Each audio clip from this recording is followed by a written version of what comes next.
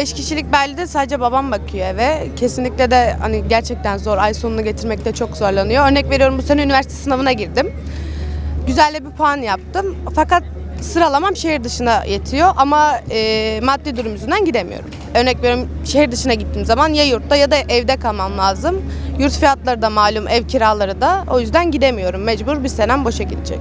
Yurt fiyatları gerçekten çok pahalı. Eşit değil. Hani parası olan çok rahat gidip okuyabiliyor ama biz gidemiyoruz.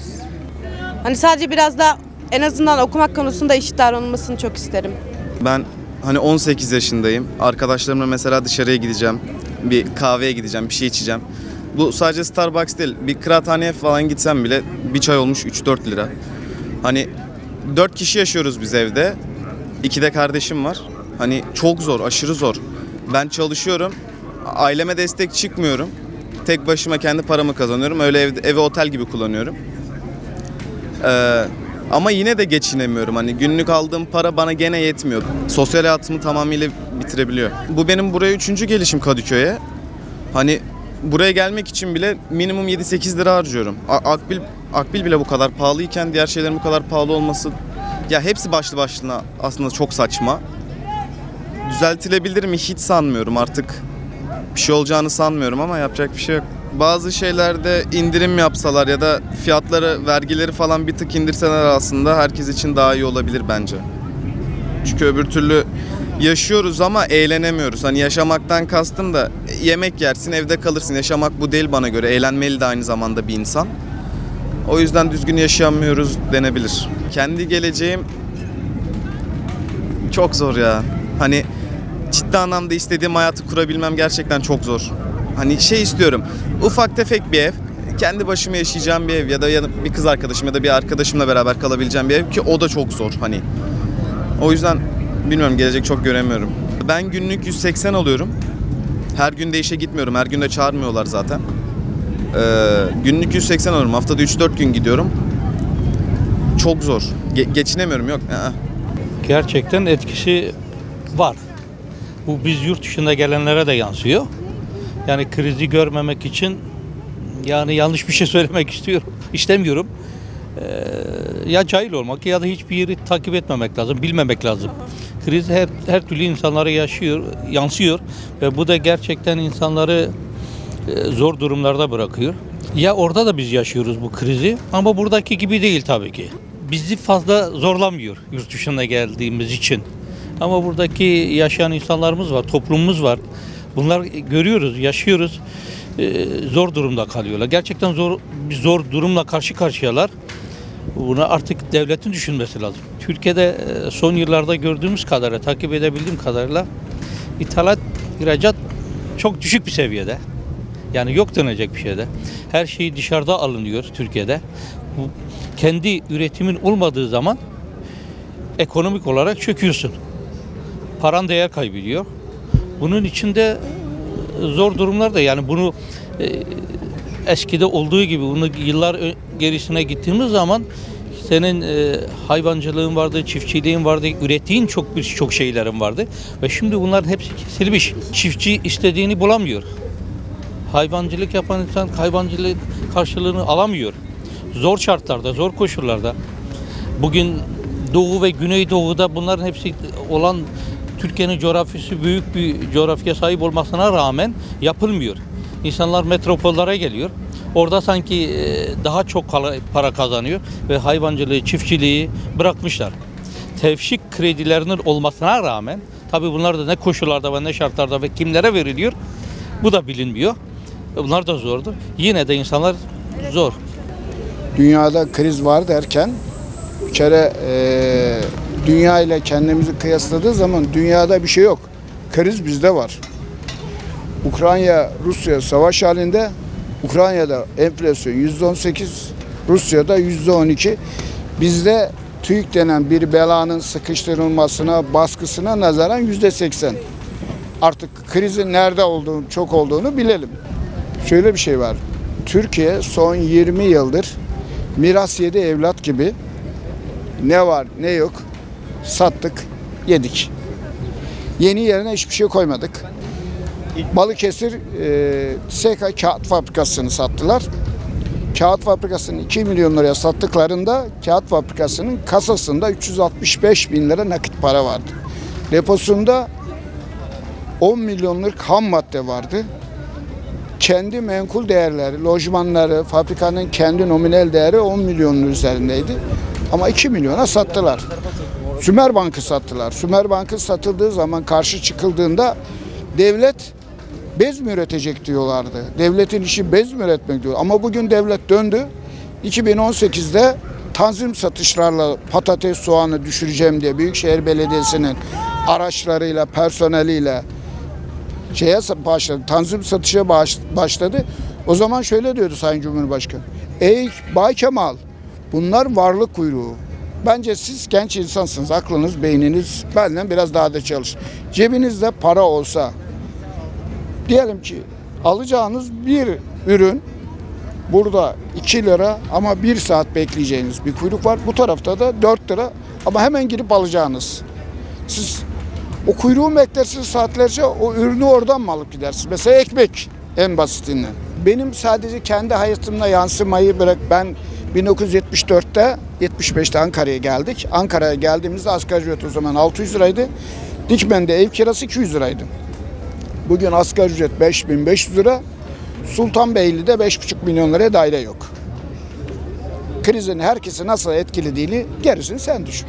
Bu kriz çözülmez mi? Çözülür. Bunlar giderse umut veren, gerçek ayakla gerçekten ayağı yere basan bir yapı gelirse çözülür. Biz varlıklı bir devletiz. Toplumun yönetime güvenmesi lazım. Adalet olması lazım. Hukuk olması lazım. Özgürlük olması lazım. Son zamanlarda çok kötüye gidiyoruz. Ukrayna bizim sınırımızda bile değil. Ukrayna bizi hiç ilgilen. 8 yıl güneyimizde Rus şey Irak'la İran 8 yıl savaştı. Bizde hiçbir şey olmadı. Hemen yanı başımızda. Ben Urfa'da askerlik yaptım. Suriye'nin bu hale gelmesinde de bizim kabahatimiz var.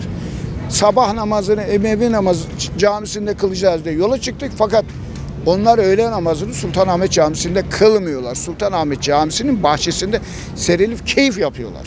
Sadece kızımız, gelinimiz değil, ben de Rus'um. Onlar bu ülkenin gelecekte başının en büyük belasıdır. Şimdi yeniden 12 yıl sonra buradan e, geriye çıkmaya çalışıyoruz. İnşallah dedikleri gibi adımlar atarlar. O arkadaşlar kendi ülkelerine geri dönerler. Biz de huzurla yaşarız. 100 milyar doların üzerinde para harcadık. Senin gibi genç kardeşimin KYK borcunu ödeyemiyor. Çiftçi kardeşim ben Anadolu insanıyım. Daha yeni geldim orada. Çiftçi mazotunu alamıyor, tohumunu alamıyor, gübresini alamıyor. Limon satıyordu. Üretim ya, üretim yapamıyor. Yeni gelen hükümet önce kanun ve adaleti tesis edecek. Hukuku tesis edecek. Eğer hukuk tesis edilirse, adalet yerini bulursa, özgürlükler gelirse biz her şeyi çözeriz. Hiç endişe etmeyin. Sizin gibi genç, pırıl pırıl kardeşlerimiz var, çocuklarımız var. Biz bu yokluğun, yoksulluğun, enflasyonun üstünden, üstesinden geliriz. Ama bu yanlıştan dönersek. Tabii hayat pahalılığından dolayı çıkmıyoruz. Her anlamda kızım. Hastayım gidemiyorum ameliyat olacağım olamadı. Hastanede doktorlar yok. Özele mi gideyim? Özelde de para yok. Para istiyor. Öyle çekiyoruz. Vallahi bu devlet değişecek. Başka çaresi yok. Her konuda berbat ekonomi şu anda yani. Herkesin düşüncesi aynıdır yani. Bir markete gidiyorsun, bir yiyecek almaya kalkıyorsun. Sabah kahvaltını 250 liraya patlıyor çoğu zaman eve alışveriş yapmasına. Akşam yemek keza öyle. Ya ekonomi berbat bir durumda yani şu an. Ben esnafdım aslında kapattım. Bütün iki dükkanın pandemi sürecinde kapattım. Şu anda hiçbir esnaf yani hangi esnaf ayakta duruyor ki? Şu anda hiçbir canlılık yok. Yani esnafın durumu çok kötü şu anda. Eskiden e, 100 lirayla pazar alışverişi yaparken şu anda 300-400 lirayla bir mutfağın masrafını gideremiyorsun yani. Olur mu? Şu anda mesela bir adım bir yere gittiğin zaman her şey daha pahalı. Şimdi eskiden ona bakarsan mazota bakarsan bir arabana mazot dolduruyordun nerelere geziyordun. Şimdi arabayı çıkarmak bile mümkün değil artık. Yani çok zor. Bakmayın şu kalabalık herkes geziyor ama neye geziyor? Boş geziyor. Yani başımızdakilerin önce, öncelikle başındakilerimizin değişmesi gerekiyor. Yenilikler gelmesi gerekiyor. Eskiyi artık bırakacağız, yeniye bakacağız. Valla tabii ki emeklileri bayağı etkiliyor. Aldığımız maaşlar belli. 4 milyar 200 ben maaş alıyorum. Ne yapabilirsin 4 milyar 200'e? Yani çok kötüye gidiyor Türkiye. Sosyal yaşam bizler için yok. Sadece çıkıyorsun işte dışarılarda balık tutuyorsun veya işte dışarılar parklarda oturuyorsun. Sosyal yaşam yok. Bir tatile gidemiyorsun. Ben 53 yaşındayım. Ben hayatımda böyle bir kriz görmedim yani. Böyle bir pahalılık görmedim. Yani biz daha yaşayan şeyler mesela e, daha önceki krizleri de yaşadık ama bu kadar büyük devalüasyon olmadı. Bir yumurta olmuş 60 lira. Nereye alabiliyorsun hayatım? Yani sonuçta. Eşim çalışıyor. Yani yoksa mümkün değil 4 milyar 200 de hem kira verip hem geçinmek mümkün değil. Hükümetin değişmesi lazım bir an önce. Erken seçim. Başka çaresi yok bu işin. Gelecek olan tabii ki yani en kısa zamanda Türkiye'yi düzeltecek olarak bir şey görünmüyor. Bu kadar krizi atlatacak şeyi değil. Ama en azından piyasalara bir güven gelir. Tamam mı? Yani bu hükümetin süresi doldu. 20 yıldan aş 20 yıl ortalama oldu. Artık bitti. Sadece kendini düşünüyor baştakiler. Gerçekten iğrenç bir şekilde etkiliyor. Mesela atıyorum kendi zevklerimden, hatta zevklerimden demeyelim bazı ihtiyaçlarına ödün vermek zorunda kalıyorum. Atıyorum ben İzmir'e uçakla gidiyordum. Şu an İzmir'e uçakla gitmek gerçekten aşırı lükse girdi. Eskiden bir insan yani 2-3 hafta önce yerden alsaydı uçakla gidebiliyordu. Ama şu an uçakla gitmek imkansız. 17-18 saat yol çekiyoruz ve gittiğimiz yol klimasız arabayla ve rezillik çekerek gidiyoruz. Bunlar en basit örnekler. Mesela şu an aldığımız asgari ücretle yani geçen seneye rağmen yani ekmeğimiz yarı yarıya fiyatına düşüyor. Çok iğrenç bir durumdayız. Yani ekonomi olarak zaten konuşmaya hiç gerek yok. Bugün bizim birim olarak harcadığımızı Avrupa'daki birim olarak harcadığında Avrupa'da herhangi bir otele gidip tatil yapabiliyor. Biz ben Adanalıyım. Buradaki Adanalar bazen ben anlar. Biz aldığımız asgari ücretle küçük saate gidip harcama yapamayız. 27 yaşındayım. Kız arkadaşım var. Şu an mesela ben bundan 3-4 sene önce evlilik hayali kuruyordum. Diyordum ki bir buçuk bir buçuk alsak 3 milyara ya evi geçindirebiliriz falan filan diyordum. Şu an ama yani para biriktirme ama halde yani 5 o alsa diyorum 5 ben alsam 10 bin liraya kesinlikle hayat geçinmez diyorum. Yani ay sonu getiremeyiz diyorum. Çok iğrenç bir ekonomimiz var. Yani gittikçe daha da kötü oluyoruz. Kesinlikle gelecek görmüyorum. Yani gelecek değil ben ertesi günü görmüyorum. Çünkü aldığımız maaş ertesi günü bize çıkartmıyor. Yani bırakın bir gelecek kurmayı. Ertesi gün hayalini bile kuramıyoruz ülke şartlarında. Eskiye dönmeyi çok istiyorum kızım. Eski günlerimize dönmeyi inan ki o kadar istiyorum ki imkanım olsa döneceğim. Hadi ben alacak gücüm var alıyorum. Alamayanlar, bu zor durumda çocuğuna ekmek götüremeyenler, zor durumda kalanlar, evden atmaları, parayı ödemeyip de evden atılmalar hangisini anlatayım ki? Hangisini anlatayım? Kalite felaket düştü. Eskiden 10 lirayla pazara çıkardım, 10 TL ile pazara çıkardım.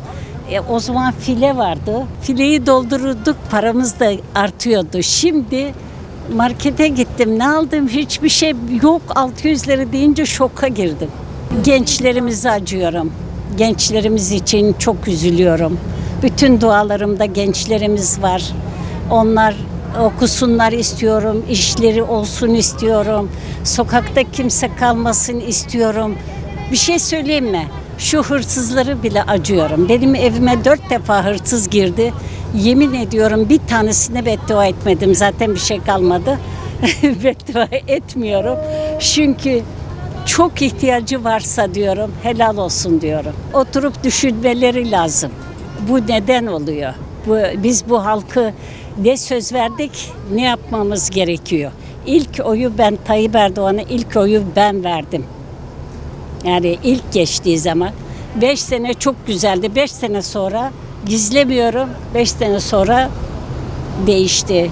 Değişti hiç kimseyi tanımaz oldu. Asla vermem kendisine de söyleyebilirim. Eğer kendisi şu anda burada olsun söylerim. Asla vermem. İlk oyu ben verdim. Ee, belediye zamanında çok güzel şeyler yaptı dedim. İlk 5 e, senede çok güzel şeyler yaptı. Ondan sonrası asla vermem. Bin tane oyum olsa bir tanesini vermem.